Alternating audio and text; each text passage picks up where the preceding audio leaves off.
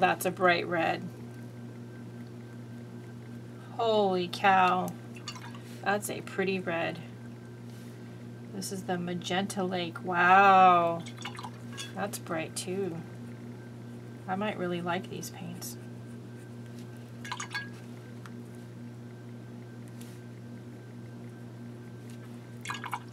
They seem to be equal intensity to any of the other really um, fine art paints that I have.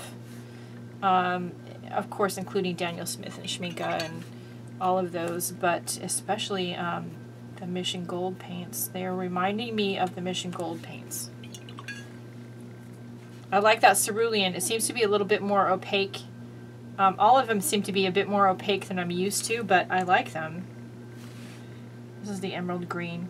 Oh wow, that's pretty. And it didn't take much to re-wet them.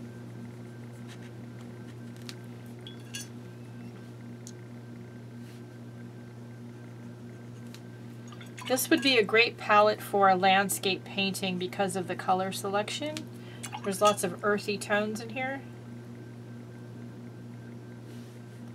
So even though these cakes came dry, um, because I've painted with it and I've re-wet them, and this is true with any watercolor when I get done painting, I leave it open, like with the Daniel Smith one, until it's completely dried out again before I close it up and put it away.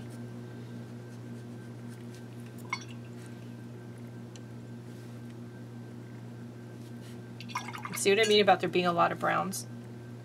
Personally, I would choose like one or two less browns and I'd put a nice bright orange and I'd put a purple at the least. Wow, that black is really dark.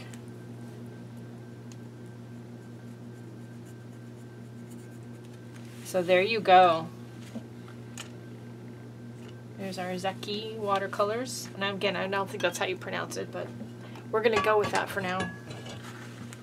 So there, we, there you go. We have both uh, new watercolor palettes. The metallic, new metallic palette that I just made, custom metallic palette. And then the our, it's fancy Italian artist watercolors. I hope this gives you some ideas of what's out there, what's available. If you're on a budget and all you can afford are lesser expensive paints, then by all means get Prima. Prima makes some great paints. So does Koi and so does Windsor, Winsor Newton. Um, and they're fabulous paints. And I obviously like the Prima boxes. I keep reusing them. Um, they're nice. They're really nice. Um, and I forgot what I was going to say. I lost my train of thought. But here you go. Um, these are really nice addition, I think, to the other paints that I have. And I think they'll complement the other things that I have very nicely. So when you do get to be like me and you have, you know, lots of different kinds of acrylic paint or watercolor paint, you know, I do stop and take a deep breath anymore before I buy something and ask myself, will it add value to the collection I already have? What will it add? Um, and that really got me thinking about getting metallic paints in, but getting nice quality artist metallic paints in. So, um, which these are. So I like that. I do have um, Twinkling H2Os and they're great for doing cards and tags and journal pages, but I really wanted something that I could use in uh, finer paintings. And so I, that's why I got the Daniel Smith. All right, that's it for today. So go out there, see what's available, research it, and look. And you know, maybe you'll find a new brand like this Italian one. I really like their paints. They are very opaque, but they're pretty. We're going to have to try them uh, soon on a Watercolor Wednesday Live. All right, that's it for today, though. Don't forget the most important thing.